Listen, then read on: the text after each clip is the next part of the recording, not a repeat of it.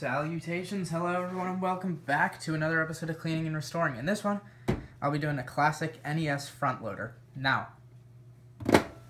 let me explain myself. First of all, I'm sure you guys, if anyone watching this has seen my old NES video, you're probably wondering why I'm making another one about an NES.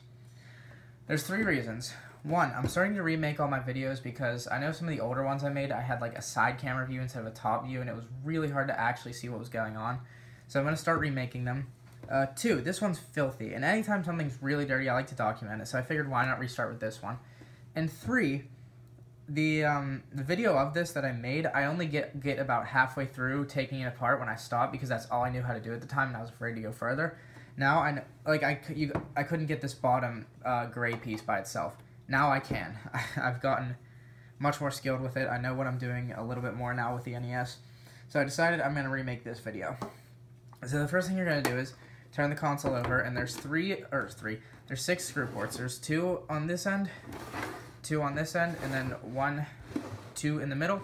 And they're all just standard Phillips head uh, screws, so you can go ahead, and the first thing you're going to do is take out all six of those screws. So I've gone ahead and taken all four screws out, but before we take the lid off, there is one more piece we can take off before we do. You could have done this before you took the screws out if you really wanted to. It doesn't really matter, though. This little piece right here, I'm not even sure what this does, but you pinch the two sides of it, and it lifts, lifts off by itself. And the reason I'm taking this off is because it has this big scuff mark right here, so I'm going to get that off uh, separately. So I'm going to go ahead and set this aside. Obviously, this is washable. So now you can turn it over, and your lid should come off really easily, like so. It's not that bad on the inside, to be totally honest. The exterior was really gross, and still is. I don't know why I'm saying was. But this lid is all just uh, one piece. It's all washable by itself. I'm not going to take it apart any further, because honestly, I can't. So I'm going to set that aside, and now we're inside the console itself. This is where things get a little bit tricky, but not, not really at all, actually. It's very simple, to be totally honest with you. So going around this piece of RF shielding, which is this, just this top piece of metal, there's one, two, three, four. There's a fifth one behind this little heatsink right here. Five, six, six, and seven. So what you're going to do is go ahead and remove all seven of those screws and then I'll be back with the next step. Alright, I've taken all the screws out, and one thing I do want to uh, make mention to before I uh, get any further, all the screws we've taken out so far, all, um, what, 13? Yeah. All 13 screws were exactly the same. You don't need to worry about isolating them. However, we are going to eventually, actually in the next step, and at the very end, get into screws that are different, and you're going to have to isolate them for those pieces. So you took all the screws out of this uh, RF shielding right here, and RF shielding just means piece of metal that protects the motherboard, basically. RF, you're going to take this RF shielding out, and you may hit some resistance, because right here, this little piece sticking up, it's stuck under there, so you're going to have to kind of pull it out this way, and then lift it up, like that. Sorry if that squeak bugged your ears. Now, this is just a piece of metal. It is obviously completely washable uh, in its own, and I'm definitely going to wash this. There's all kind of crap on it from 18, 18, 1985. Okay, so here's where we run into a bit of an issue with screw differences. This uh, cartridge uh, loading tray thing, whatever you want to call it, this it needs to come out next. And there's uh, three screws down this side and three screws down this side. However, you may notice that each side has two silver screws.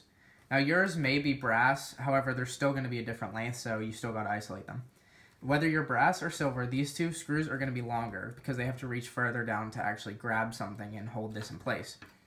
So you're going to go ahead and take all six of these screws out, and remember that these two go in those specific holes, but I will remind you whenever we're putting it back together, so don't worry about that. This is where things get kind of convoluted, convoluted and tricky. I will also like to note, I did take out two extra screws. There was one right uh, here, and uh, one right where my screwdriver is pointing right here. They were two regular brass screws, and they're going to be brass no matter what uh, year your console is. Go ahead and take those out too, because it'll just get you ready for the next step while you're ahead. And so now we're going to remove the cartridge tray, whatever you want to call it. So what you have to do is it's going to slide out towards you, or in this case, towards the opening of the console. Basically, you have to lift it up as hard as it'll lift up and slide it out. Now, it's going to be kind of hard. You got to do it just right, but eventually you'll get it off on its own like this, free, and it should still work normally. Uh, now, this all on its own is washable. Again, I will recap everything washable. So now you're down to the board, the brain of the NES. This right here, this bad boy, this harmonica looking thing, is the 72 pin connector. If your NES isn't working and you're doing this, this is probably the reason why, because these things suck. They break all the time and they're impossible to get working again. I don't, I'm not going to do anything with this one. However, if you want to replace it, basically what you do is you just kind of lift up the board and you can actually just slide it off like taking a cartridge out of a game. It just slides off and to get it back on, you just kind of press it back on. It's kind of, it's a weird th thought, honestly, because you would think it's more com, com, com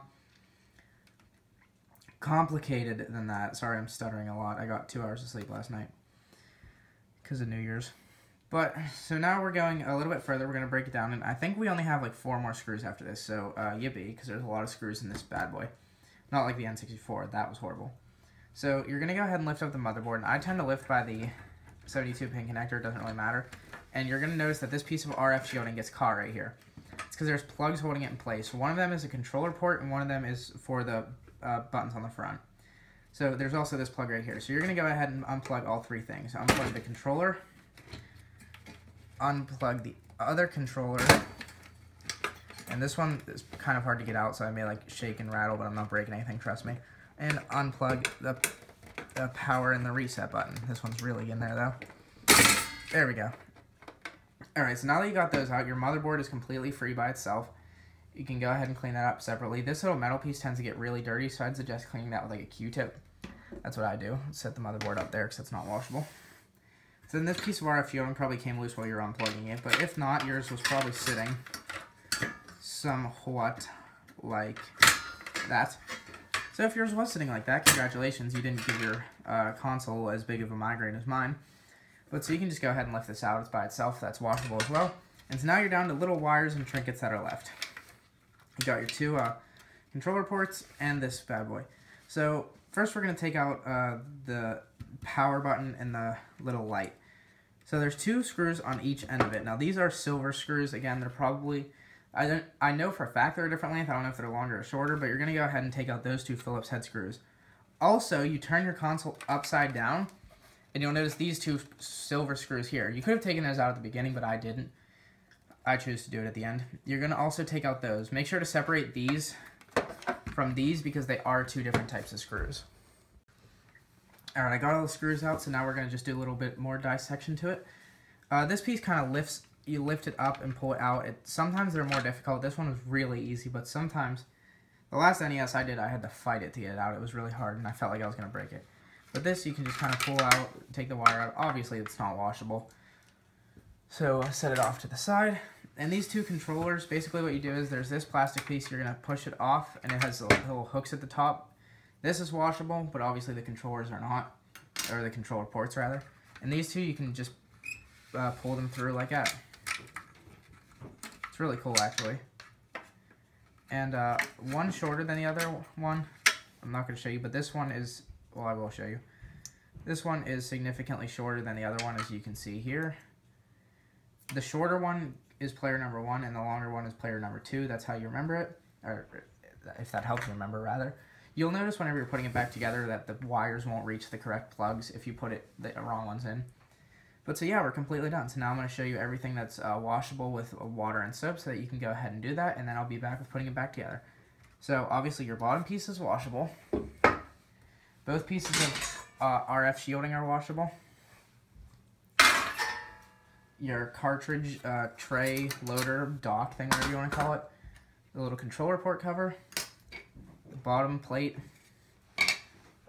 and your lid to your console. All washable, so you can go ahead and wash those and clean your motherboard however you please to do it. And I'll be back with putting it back together.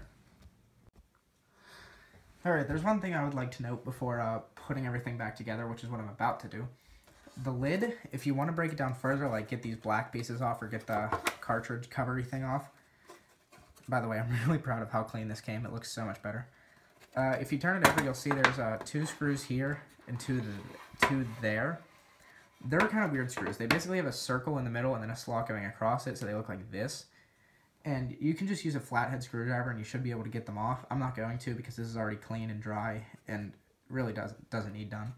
But that's if you want to break it down any further, which I'm not going to do. So first, we're going to, now we're going to put it back together. So first, we're going to start off with our base. And We're going to put our uh, general electronics in. So find your uh, controller port that has the shorter wire, and that goes in the player one slot. You just basically feed it back through. It won't stay like locked in place, but it'll go, or it'll go in at least.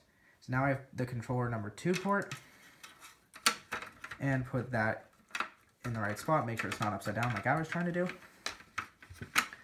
So then take this piece, and this piece is a little bit nicer because it'll actually like kind of hold itself in place, but you basically just kind of gotta wedge it in like that and it should stay. And if you'll remember, you had two screws holding that into place, and for me it's these two, but it doesn't really matter.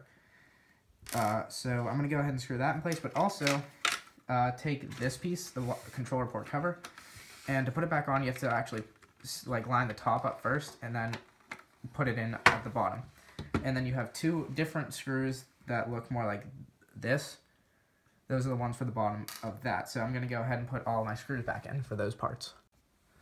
everything's locked in place, and uh, what I'm going to do now is, where's the piece at? I have all my pieces stacked together. I'm just going to take this and snap it back into place, because I know I'll forget it at the end of the video. It just snaps in place like anything else. And we're actually going to take this part and set it aside for right now. And what you need is your main motherboard and the bottom piece of RF shielding that looks like uh, this.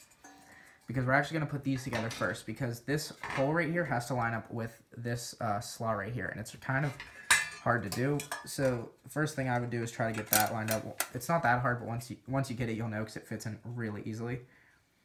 And so now this is kind of where it gets tricky. Get your bottom piece. And what you have to do is drop this into place. But at the same time, you're going to have to lift it kind of back out because all these wires need to be plugged back into their correct spot. And it's pretty easy to remember because this blue one lines up here, long green one goes over here, and the short green one goes right here because this these do need to be plugged in under the RF shielding, so it needs to go this blue one plug in like that, and then you can drop it back into place. This longer green one, and for the green ones, you see how there's a little rainbow on this side, and on this side there's not. You want the rainbow side facing up. That's how I remember it, at least. They plug everything plugs in really easily. It's just a matter of getting it around the uh, RF shielding. So once everything's plugged in, make sure you get your wires as out of the way as you can, or at least so that your RF shielding pushes down and locks into place on all sides, which mine right now is because it's not moving around at all. So now you can go ahead and put in these two screws right here if you want to. I'm not going to because I just want to get to the next step for you guys to be uh, more efficient in the video in the cutting. So uh, you're going to take your cartridge uh, tray thing, and this is where it gets kind of complicated with screwing it back together. So slide it back into place. And what'll happen is you'll probably put these two screws in too tight and this won't click down. So to avoid that, when you're putting in these two screws, leave them loose enough that and you can test this and it'll still work. So if you remember, these two holes right here are the regular brass screws. These two are the longer silver ones, and then the two in the front are uh, long brass once again. So go ahead and put in the two screws here and the six on the cartridge slot. Everything is currently screwed back together. Um, these two front screws, like I said, they're the main culprits of this not working. Uh, mine are pretty loose right now, but they're holding it in place well enough that this still works. So I'm happy with that. This is dirty right here. Uh, so now you're going to take your uh, top piece of RF shielding and fit it back over place. And remember, it kind of has to slide under this uh, heatsink right here. And uh, it should line up relatively easily. Make sure on this side that it's through the plastic peg. I don't know where it is. Where is that little sucker? There we go. Because if it's not through those, then you're just going to bend the metal out of place. Same with over here. This one doesn't stick up as much, but it'll still get in your way. There's also one in the back. So now you just have a pile of seven brass screws, and those go all around here. Again, after putting in, I know this is going to be a pain for you guys, and I'm sorry if you're having to do this, but literally after every single screw you put in, no matter where it is, test to make sure this works. Especially these front ones, but just do it for all of them to be sure, because that's what I always do, and that's how I get it to work because sometimes it'll be like a screw way in the back and this won't work. That's what's such a bad design about these things. But I'm going to go ahead and put all the screws in, then I'll show you guys from there. My RF shielding is all screwed back into place, and as you can see, it still works fine. So now it's time uh, to put the lid back on, and this is really easy because it's just a perfect rectangle. Just drop it back onto place. You may take a bit of finagling to get it perfectly lined up. Also, make sure you don't have wires caught anywhere around turn it upside down and put in your six screws. But again, test after every single screw to make sure the thing clicks down. And do this screw last. I would say do all four corners, the back one, and then this front one, front middle one last. Because that is 90% of the time the reason that the clicky thing doesn't work. You have to have that one pretty loose to get it to work, but it helps if you do the four corners and the back one first to save that one for last. So I'm going to do go ahead and do that with all the screws, and then I'll be back with the finished result of this NES. Okay, everything's back together. My thing, my uh, clicky thing works fine. Uh, I think overall it honestly looks like a new console. I mean, this lid was completely destroyed whenever my friend gave this to me. My friend Tio, he gives me most of the stuff that I clean and restore. Uh, link to his channel in the description below. Uh, front looks pretty good. There's a scuff right there that I'm going to try to get off again, but I couldn't really get off while it was washing, so I don't see why it would now. The sides are both pretty good, minus the uh, rust on the AV ports, but I can't fix that. And the back doesn't look bad at all. Well, it has scratches, but I can't get rid of scratches. And the bottom wasn't dirty to begin with. So overall, it looks pretty good. It looks like a relatively new console. So I feel better refilming this because the first one was kind of poop. Uh, so thank you for watching, everyone. And uh, for more videos like this one, please leave a like or subscribe.